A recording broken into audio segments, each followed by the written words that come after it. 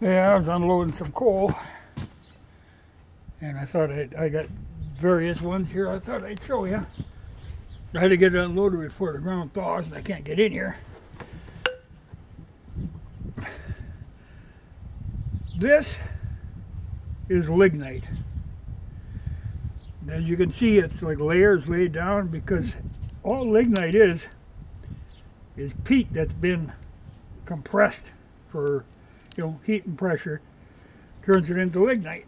Now we've got a lot of that in the state, but it almost looks like layers of mud, which it kind of is. Um, not a real good quality coal, but we've got a lot of it in North Dakota. The whole western end of the state is full of lignite. So you can get it cheap. I know my brother uses it uh, to heat his house.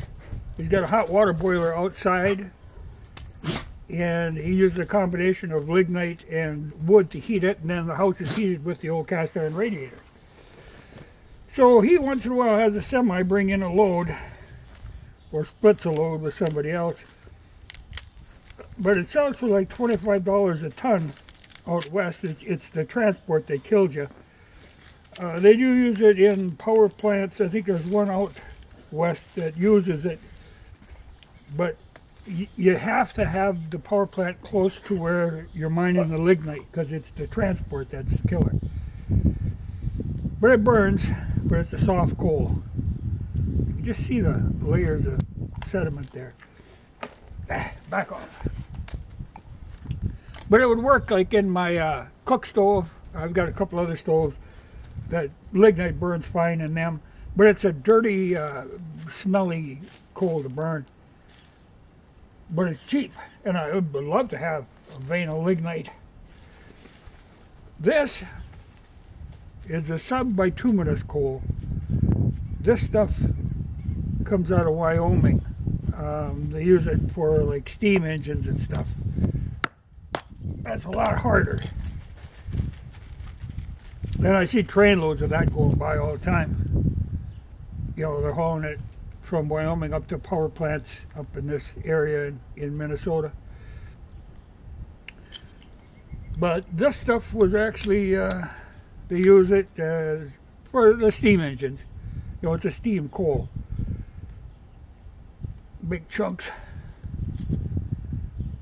Yeah, but that's got a smell too. You know, if you've ever been to one of those uh, you know, like this, they actually burn this stuff at Rollag, at the steam thresher reunion there. you can see from miles away, you see that cloud of smoke. It's not a real clean burning coal. But they, they go through a lot of it, a heck of a lot better than the lignite. But this is the subbituminous. This is the bituminous coal. This came from Missouri.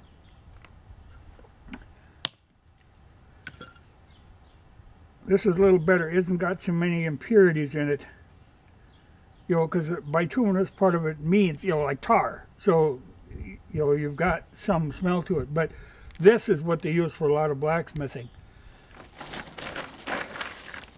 And I've actually had, uh, one time I had a whole pickup load of this stuff because the guy, he used it to heat the uh, greenhouse he was a big time grower and he had a heating setup that burnt this coal. Well, the water was rising, he was going to get flooded out. The river went up, so he was selling that coal off cheap, so I got a whole pickup load of it one time. And I used it, it works for heating too. It's a still a relatively soft coal.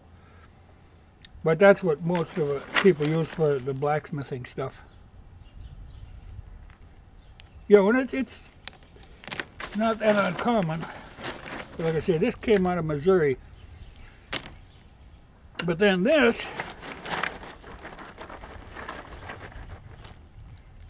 is anthracite. This came out of eastern Pennsylvania. And you can see uh, it's a lot, lot shinier. It doesn't have all that tar in it. It's a lot cleaner burning. Burns a lot hotter. First time I ever had anything to do with this, we were when I was a kid, we were going to go deer hunting. And we came up here. There's a shack over in the pasture. Uh, about two miles away from here. The, the shack had always been there, and there was a coal stove in there. And so we were going to stay overnight up there the night before deer season, so we'd be right on the ball, you know. And there was an old stove in there, and there was a pile of this and anthracite over in the corner. So we threw some in there. You know, got a fire going, we threw some of this in. Well, it didn't take off. Threw a little more in. Pretty soon she took off. We damn near burnt that shack down. You know, it uh, it got completely out of hand. That stove was glowing red. Uh, you could have poked your finger through it. You know, it was just uh, on the verge of meltdown. Stovepipe was red all the way to the roof, and there was flames flying. A couple cousins were up on the roof pissing on the stove, on the stovepipe, trying to get the because it was it had got so hot that it was catching the roof on fire, melting the tar roofing paper. You know, if we were throwing snow on, if it wouldn't have been for that snow, uh, we'd have burnt that shack down. But this stuff can get out of hand. It can get really hot. But I thought this, you know, if you really need the heat, I'd try some of this. You know, this stuff is all available. Well, lignite hardly pays to ship lignite. But like this, the bituminous that is commonly used, you can buy that all over the internet.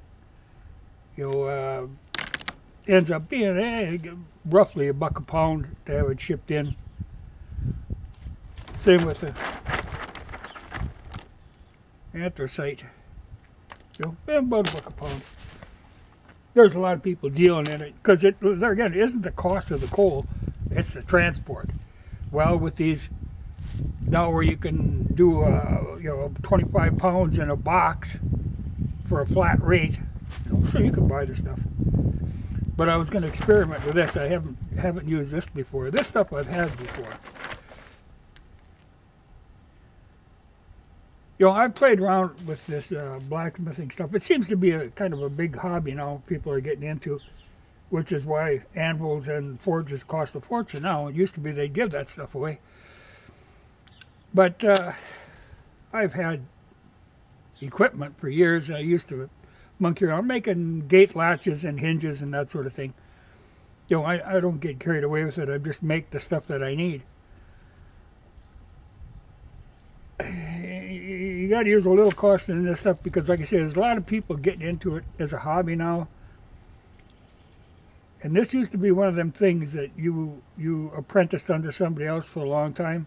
It's not something that you watch a couple videos, read a couple books, and you pick this up. You know, you can get a basic idea and you can monkey around like the level that I do. I just monkey around with this stuff just to do what I need to do but it's something to get really good at. You got to really devote a lot of time to, and you always learn. You're always learning. This is something you're never. Ah, you can say I'm an expert. You're never going to be an expert, but you can do enough to get by. So, you know, use a, a little caution when you're listening to people tell you how to do this or how to do that. Like I say, you're always learning. If you're smart, you know what you don't know, and accept that. But I'll go into it sometime. I've got some work I need to do, which is why I, I wanted. Uh, this, I think, is, is going to be interesting. This is a clean, hot burning coal. Just got a controller. You're not using it in the stove.